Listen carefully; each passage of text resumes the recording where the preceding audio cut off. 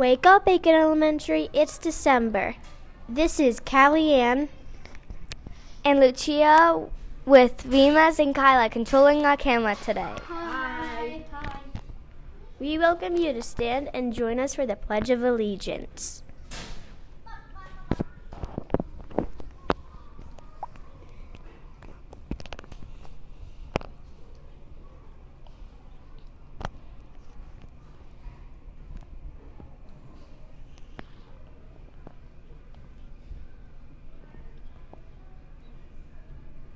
Today is Thursday, December 1st, 2022, and we would like to wish Luna from the fourth grade a very happy birthday. Have a wonderful day.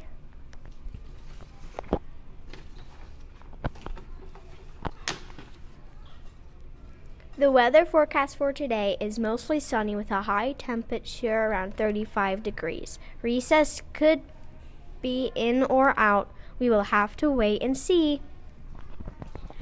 In the cafeteria today, our hot lunch choice is fish sticks, along with the usual alteration alternatives. alternatives.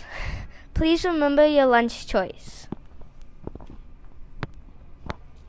Important announcements. Teachers, please remember to remember complete. to complete your attendance or in lunch count.